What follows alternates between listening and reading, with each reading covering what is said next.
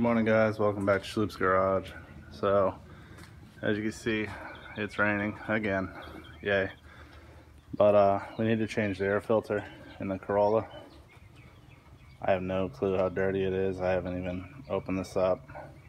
But uh, let's go ahead and get into it. So, you got this one here, pop it down. And there's one back here, just pop it down. That should just lift right out. And then your air filter sitting down here.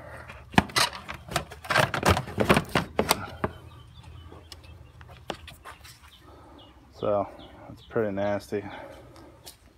We got our new one up here.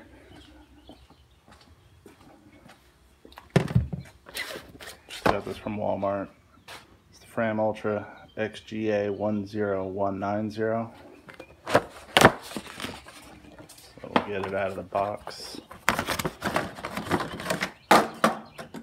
and reinstall it.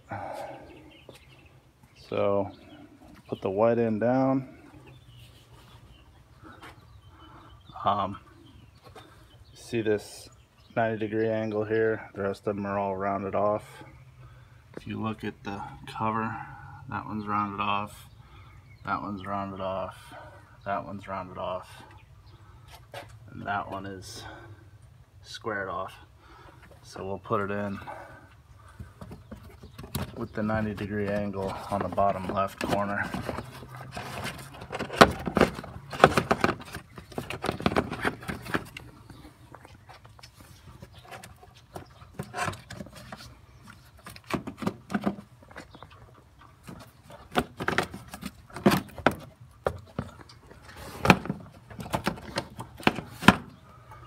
That's it.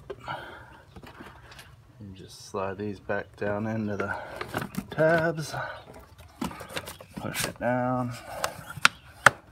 Lock that one in. Lock that one in. And you're done. That's it. Air filter's changed. Just figured I'd throw that together for you guys in case you've never done one. So there it is. Thanks for tuning in. As always, like, share, comment, subscribe and we'll see you in the next one. Bye.